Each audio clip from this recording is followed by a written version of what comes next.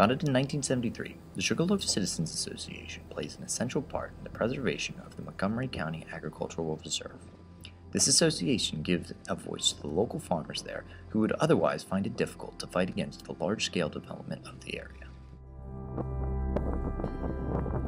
Well, from the beginning, the uh, the major threat was what were called LULUs at the time, large, an acronym, large unwanted land uses, and they were public facilities like Pepco being a pseudo-public and the incinerator and the landfill and the compost facility and the sludge facility, etc. Large public facilities that people uh, who live in the populated parts need, but are unwilling to um, admit that they need enough to have them in their midst. And because there are few votes, relatively few votes out here, it's an easy thing for a government official to do. The things about the Ag Reserve is that if you look across Virginia, uh, in comparison to the Ag Reserve, the Ag Reserve obviously is thousands of acres, 90,000 acres of, of, pristine farmland for the most part. You look over to Virginia, right across the Potomac, and it's nothing but buildings and apartment, apartments and, and industrial development.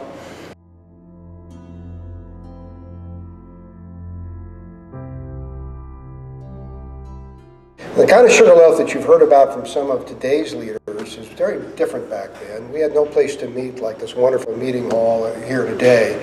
Uh, we would meet in private homes. There were usually eight or nine of us maximum, but there weren't many of us. Um, and uh, but we were dedicated. I think that's one of the things that distinguishes Sugarloaf so much from other organizations is that we will sue you. We'll take you to court. Uh, we will uh, uh, raise money to help join other lawsuits that we think have merit. And um, that's, that sets us apart. A lot of organizations will, will oppose things, but we will actually litigate against you.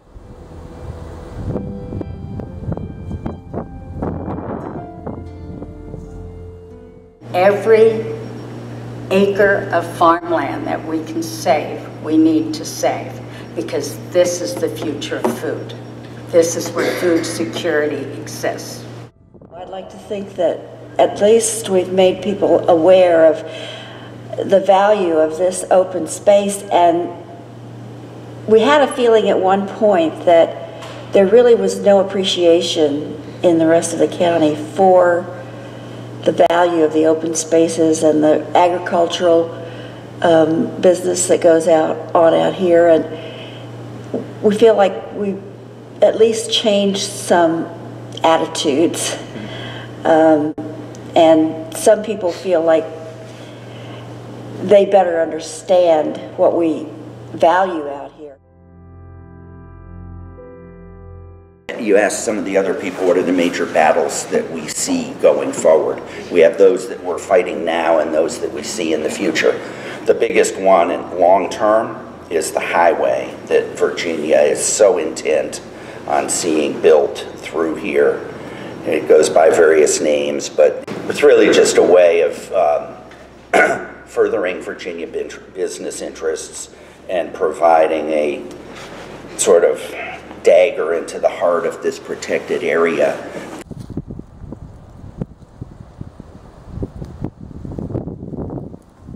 And so I think for the future of the Ag Reserve, it's hugely important to make everybody in the county feel vested in success of the Ag Reserve.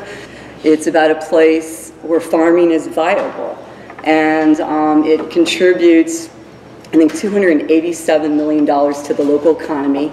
Um, there are 10,000 people who are employed in the Ag Reserve, and there are like over 500 farms. So this is, the Ag Reserve is beautiful and is the green lung of this area, and that shouldn't be discounted. But I think it's also important to remind people in the county that it also is one of, um, it's an economic engine for Montgomery County, and it's, it's a national model, and it's something um, that we should be proud of.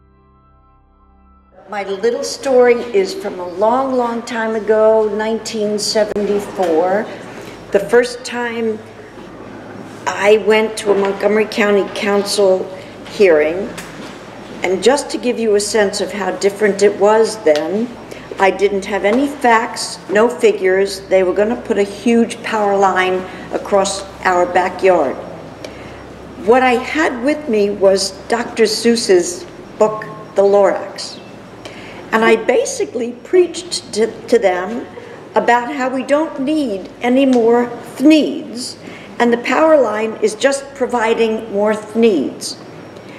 Today, I would have been laughed out of the place. It would have been absurd.